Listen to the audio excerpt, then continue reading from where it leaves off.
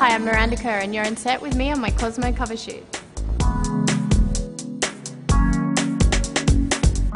I'm quite a tactile person, so I'd say my style is influenced by fabrics and the way fabrics feel on my body.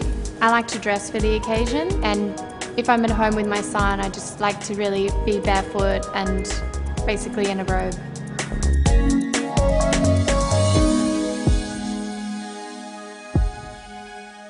First memory of Cosmo?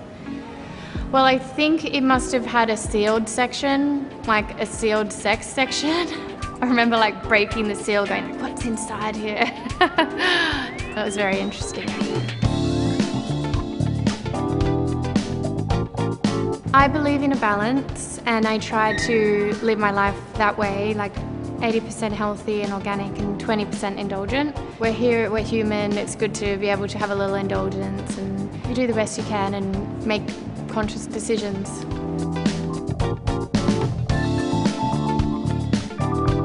Hidden talent, oh I like to sing. I mean I also like hip hop, so um, Sir Mix-a-Lot. My posse's on Broadway. Mm, me and Kid Sensation at home we're from home.